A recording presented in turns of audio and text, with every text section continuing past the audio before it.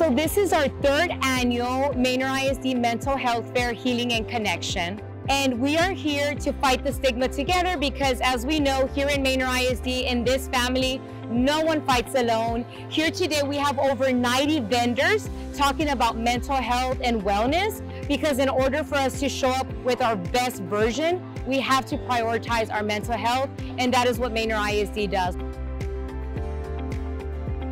We're also doing meditation and yoga sessions here, all to promote mental health because in this family, no one fights alone.